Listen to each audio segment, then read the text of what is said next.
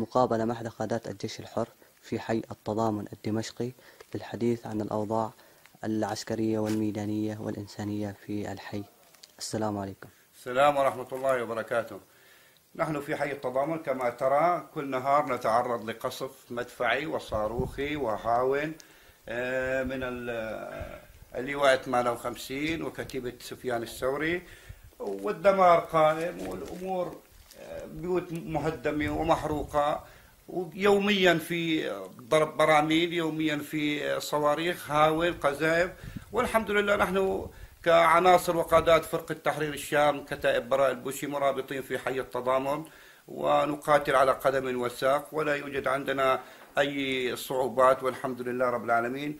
وأمورنا ممتازة قتاليا والعناصر معنويا ونحن الحمد لله جميع من يعمل في هذه القطاعات من أهل هذه البلد سوريا الحبيبة نعمل في قتال مع النظام. ولا نريد أن ندخل في أي مصالحة أو أي هدنة أو أي شيء لزل أنفسنا للطعام أو للشراب لأن الحمد لله الله عز وجل يمن علينا من كل شيء ويصلنا كل شيء. الحمد لله رب العالمين.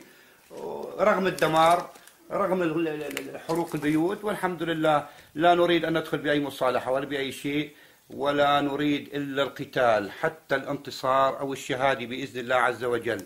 والحمد لله رب العالمين ثابتون وباقون بهمة الله عز وجل ونحن والحمد لله لا نريد أي شيء سوى القتال لوجه الله تعالى حتى تحرير المنطقة ولا نسامح أي إنسان صالح أو قاتل وباع دماء الشهداء ونحن لا نريد أن نكون مثل هؤلاء لأننا ثابتون وباقون وسوف نقاتل حتى النهاية.